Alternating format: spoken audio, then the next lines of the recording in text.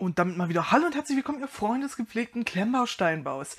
Wir haben uns ja am Dienstag ein Keyplay-Set angeguckt.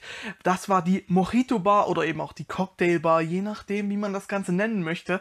Und ich habe dieses Set ja als Karikatur auf eine echte Cocktailbar beschrieben. Dagegen ist die Friends-Serie vom großen L eigentlich bieder und das war wirklich, wirklich ein lustiges Erlebnis.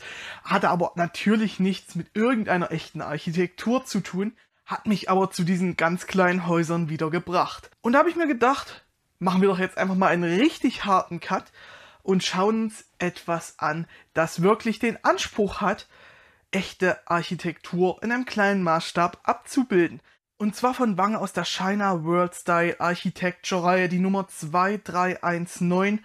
187 Teile haben wir hier und es handelt sich um die Brauerei. Thematisch sind wir da ja gar nicht so weit von der Cocktailbar entfernt. Und nochmal ein spätes Prosit Neujahr an alle, die zum ersten Mal hier ein Video auf diesem Kanal anschauen im neuen Jahr. Warum denn eigentlich nicht, wenn wir die ganze Zeit hier über alkoholische Sets reden? Dieses Mal also der harte Cut und wir schauen uns natürlich das Set heute zusammen an. Und ähnlich wie in der Keyplay City Corner Reihe gibt es hier eben noch einige Sets im selben Maßstab aus derselben Themenreihe und das sehen wir noch einmal auf dem Hintergrund. Und in diesem Text steht eben nochmal dieser Anspruch, den Keyplay natürlich bei der Bar nicht hatte, dass hier die Architektur rund um unseren Planeten abgebildet werden soll. Ich bin mal gespannt, ob ich auch mit diesem komplett entgegengesetzten Anspruch in diesem Maßstab mit den kleinen Häusern Spaß haben werde. Auf der Verpackung gibt es aber nicht allzu viel Spannendes sonst zu sehen und dementsprechend machen wir das Ganze doch mal auf und schauen uns zusammen die Steinetüten und die Anleitung an. Leider haben wir auch wieder in diesem Set eine Box, die man aufschneiden muss, weil es zusammengeklebt ist und wir haben keine Laschen oder Siegel, um es zerstörungsfrei zu öffnen. Das finde ich schade. Aber sei es drum, ihr seht hier schon mal die Steinetüten und das ist natürlich schon mal ein krasser Kontrast zu der Keyplay Bar. Über die Steinequalität reden wir aber wie immer während des Baus. Und dann haben wir natürlich noch die Anleitung und die ist leider ein kleines Negativ-Highlight. Es ist eine Auffaltanleitung, die Papierqualität ist soweit in Ordnung, aber eine klammergebundene Anleitung oder eine Anleitung in Broschürenform hätte mir schon viel besser gefallen. Es wird ausgegraut, was schon gebaut wurde und was neu gebaut wird, wird in Vollfarbe dargestellt und insgesamt haben wir hier nur elf Bauschritte, bis dann diese Brauerei fertiggestellt ist. Auch in diesem Fall haben wir leider wieder keine Teileliste. Also haben wir jetzt schon alles gesehen, was es vor dem Bau zu sehen gibt und dementsprechend fange ich jetzt auch an zu bauen. Und wir sehen uns gleich mit dem fertigen Haus wieder. Ich denke, bei so einem kleinen Set wird kein Zwischenbauschritt nötig sein. Und damit ist die Wange 2319 auch schon fertig, die Architecture Brauerei der Bau war natürlich super, super schnell vorbei. Also wir reden hier über ungefähr 20 Minuten, die der Bau dauert. Wenn man wirklich schnell baut und nicht unbedingt der Genießer ist, dann ist man hier wahrscheinlich schon in 10 Minuten durch. Wenn man schon ein paar Sets zusammengesteckt hat und dementsprechend schon ein wenig routiniert ist. Die Anleitung war soweit okay, zumindest die Darstellungen. Mir hat es auch gefallen, dass doch ein paar mehr Teile pro Bauschritt verbaut werden, aber ich hatte an anderer Stelle dort ein kleines Problem, denn die Farbwiedergabe ist irgendwie merkwürdig in der Anleitung. Und ich habe jetzt kein Problem damit, wenn eine Anleitung immer die Farbe gleich merkwürdig angibt, denn dann gewöhnt man sich ja daran, wie eine Farbe gezeigt wird. Hier ist es aber so, dass die Farben gar nicht konstant merkwürdig sind, sondern dieselbe Farbe teilweise in anderen Farbtönen dargestellt wird. Und das ist noch bei so einem kleinen Set hier zu verzeihen. Bei einem großen Set wird das dementsprechend aber schwierig. Ein Beispiel wären diese Plates hier. Ich meine, die sind braun und das ist auch in diesem Bauschritt recht eindeutig zu erkennen.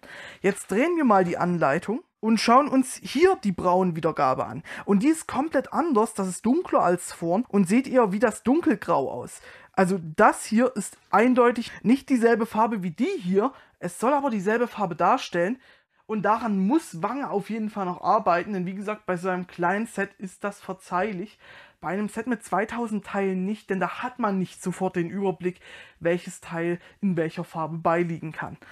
Die Steinequalität ist weitestgehend in Ordnung, die Steine sehen ordentlich aus, die Angusspunkte sind auch recht klein, an der einen oder anderen Stelle, wie zum Beispiel der Plate, fallen sie dann doch auf, aber gerade bei den helleren Farben fast gar nicht und bei den dunkleren muss man auch genauer hinschauen.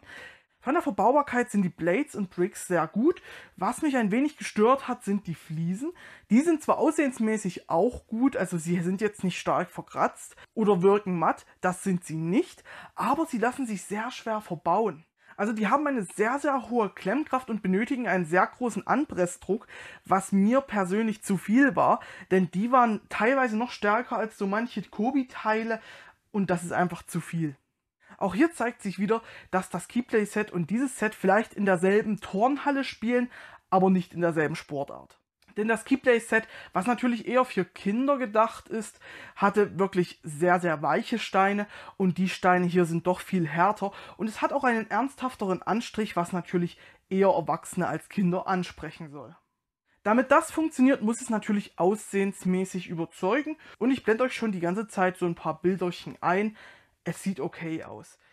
Ich muss sagen, mir persönlich ist es aber zu wenig, um mir so etwas ins Regal zu stellen, denn so schön ist es eben dann auch nicht. Wir haben überhaupt keine Inneneinrichtung, das ist mehr oder weniger nur eine Fassade und mir persönlich ist das für ernsthaftes Architecture dann einfach doch zu klein. Und ihr wisst, dass ich ein Fan von kleinen Sets bin und diese sehr, sehr gerne baue und vorstelle aber das ist mir zu klein, um ernsthaft Architecture zu sein. Wenn wir dann in so einer Reihe sind wie City Corner von Keyplay, was ja eher an Kinder gerichtet ist und kein Display-Set unbedingt ist, da geht das mit diesen kleinen Gebäuden. Hier ist es mir durch diese wenigen Steine einfach nicht schön genug geworden, um es als Architecture-Set zu nehmen. Und auch die Bautechniken reißen hier natürlich keinen vom Hocker. Das Spannendste an dem ganzen Bau ist, dass wir hier Bars reinstecken und dann hier mit C-Clamps ein Dach befestigt wird und dass wir die Dachschrägen haben. Das reißt natürlich kein wirklich vom Hocker. Und durch den kleinen Maßstab ging es natürlich auch nicht besser, aber wir haben zwischen den Dachschrägen sehr offensichtliche Fugen und das stört die Optik doch sehr. Und dieser Störfaktor wird durch die restliche Optik meiner Meinung nach leider nicht rausgeholt. Positiv ist natürlich für ein potenzielles Display-Set, dass wir zwei Prints haben und überhaupt keine Sticker. Das hier vorne ist ein Print und auch dieses Schild hier ist ein Print. Also zusammenfassend muss ich sagen, dieses Set hat nicht unbedingt meinen Geschmack oder meinen Nerv getroffen.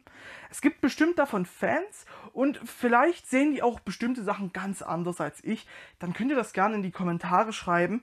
Aber für mich ist das Set leider zu schwach, um es zu empfehlen. Es ist ganz okay und wenn man es vielleicht irgendwo mal günstig sieht, ja, dann kann man zuschlagen. Aber man sollte da nicht zu hohe Erwartungen haben. Denn dieses Set hat in keiner Kategorie wirklich vollends überzeugt. Wir haben eine ordentliche Steinequalität mit Mängeln, die habe ich angesprochen. Wir haben nur eine Auffallanleitung, die dann für mich auch nicht wirklich überzeugend ist, gerade durch die Farbwiedergabe. Und wir haben eben ein Display-Set, dessen Aussehen jetzt aber nicht die anderen Fehler rausreißt. Also ich möchte dieses Set auch keinesfalls schlecht reden und Aussehen ist natürlich immer eine subjektive Sache.